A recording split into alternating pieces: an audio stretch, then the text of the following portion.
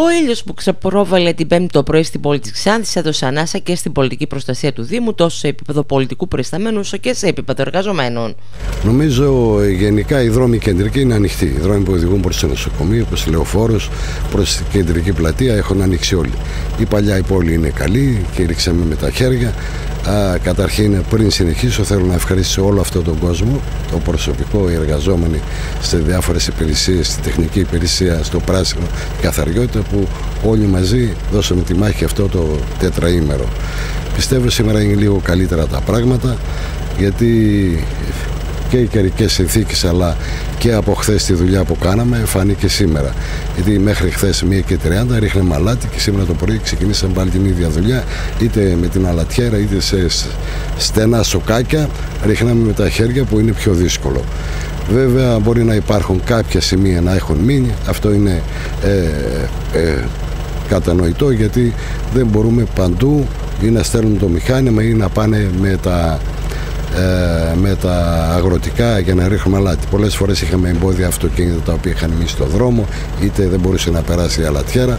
Παρ' όλα αυτά, νομίζω σήμερα είμαστε σε ένα αρκετά ικανοποιητικό επίπεδο, βλέποντας και τι γίνεται στην υπόλοιπη Ελλάδα ή ακόμα και στους γειτονικούς νομούς. Εγώ θεωρώ, επειδή έχω μια μεγάλη εμπειρία περίπου 20 χρόνια πάνω σε αυτό το αντικείμενο, δουλέψαμε, κάναμε ό,τι ήταν το καλύτερο και μακάρι και όλοι οι υπόλοιποι δήμοι της Ελλάδος να είχαν τα ίδια αποτελέσματα. Σίγουρα μπορεί παράπονα να υπάρχουν, αλλά σε ένα βαθμό μπορεί να είναι αποδεκτά, αλλά σε γενικές γραμμές και κατά ομολογία όλων των κατοίκων με αυτούς τους ανθρώπους που είμαι στους δρόμους συναντώ, λένε τα καλύτερα λόγια για μας. Πάλι θέλω να ευχαριστήσω το προσωπικό, από την πρώτη μέρα ήταν και ο Δήμαρχος δίπλα μας αλάτι βλέπετε ότι υπάρχει και αλάτι και φρέσκο και παλιό δεν είχαμε τέτοιο πρόβλημα να έχουμε προμήθεια αλατιών είναι ε, ένα καινούργιο αλάτι που πήραμε γιατί ε, φοβάμαι ότι Δευτέρα πάλι θα έχουμε κακοκαιρία γι' αυτό φροντίσαμε να έχουμε νέες, νέο αλάτι και εδώ και στη Σταυρούπολη. Στο Δήμο της Σταυρούπολης ε, τα πράγματα πήγαν καλά και εκείνο. Βέβαια υπήρχαν δυσκολίες ως προς το να πας στο δασικό χωριό. Να πω ότι χθες φύγανε από το σημείο που πήραν το αλάτι από κάτω από την περιοχή τη Σταυροπόλη στο Δαφνώνα και φύγανε τρεις η ώρα.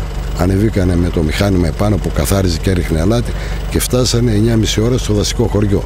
Και έτσι, σαν ανταμοιβή, τα παιδιά μείνανε εκεί και σήμερα το πρωί ξεκίνησαν και καθαρίζαν από πάνω προς τα κάτω και νομίζω και όσοι θέλουν να πάνε στο δασικό χωριό δεν θα έχουν κανένα πρόβλημα. Βέβαια, πεζοδρόμια δεν καθαρίσαμε και ευνοητών, ούτε ρίχνουμε αλάτι στα πεζοδρόμια γιατί ρίχνοντα αλάτι όπου υπάρχει τσιμέντο, παβέ κτλ. καταστρέφονται πολύ γρήγορα.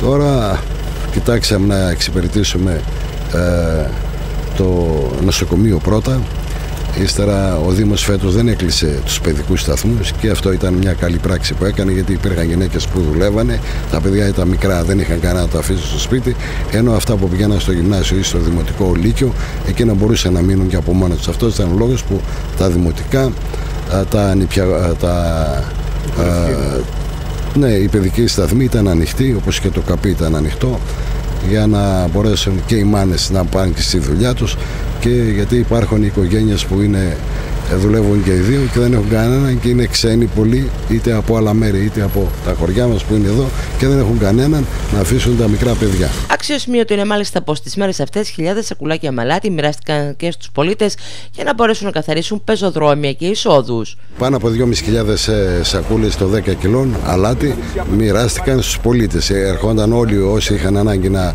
για τις αυλές τους ή για τα πεζοδρόμια τους για αυτά μοιράστηκαν από εδώ. Δόθηκαν πάνω από 2.500 ε, σακουλάκια με αλάτι.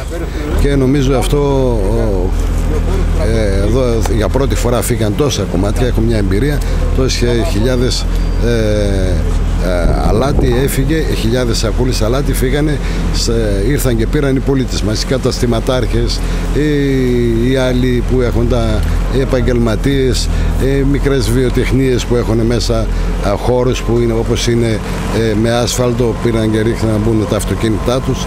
Και έτσι και από αυτή την πλευρά νομίζω ότι η, η βοήθεια που δώσαμε στις πολίτης μας ήταν νομίζω πολύ σημαντική.